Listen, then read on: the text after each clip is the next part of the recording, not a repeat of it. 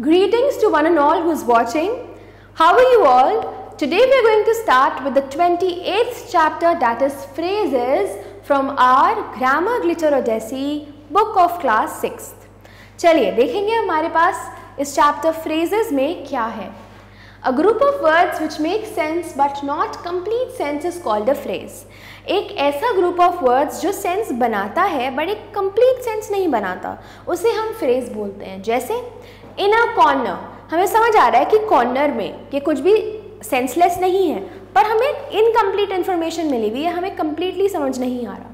तो वो एक फ्रेज कहलाता है।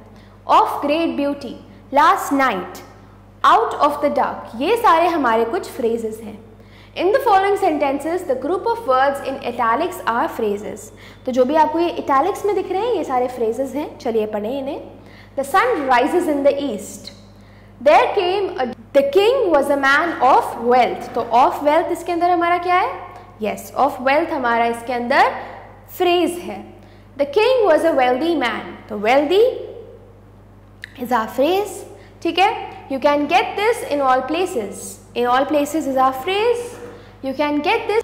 Okay, so the first sentence we have to underline the phrases. I saw a bright blue kite in the sky, the bright.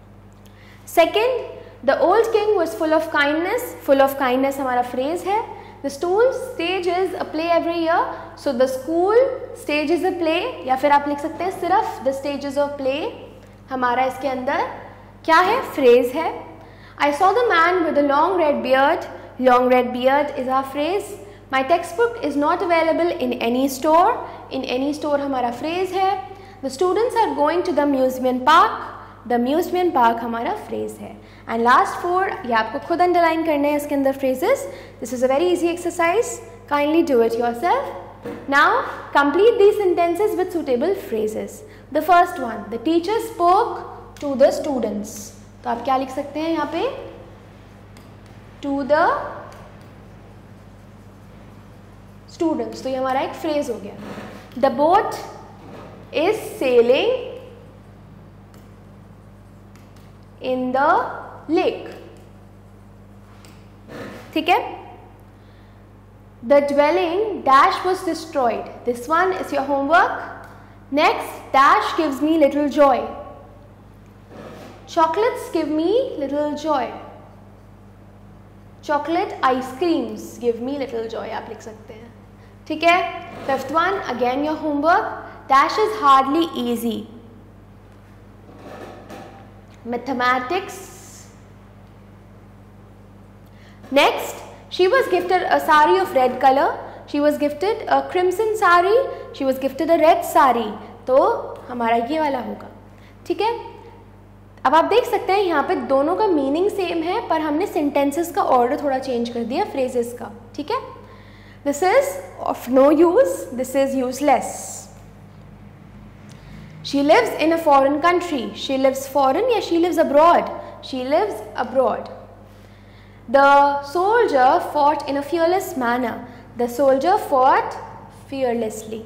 ठीक है आपको ये समझ आ चुका होगा हम आगे बढ़ेंगे और देखेंगे make the sentences with the given phrases made of wood तो आप क्या बोल सकते हैं The furniture is my, in my house is made of wood.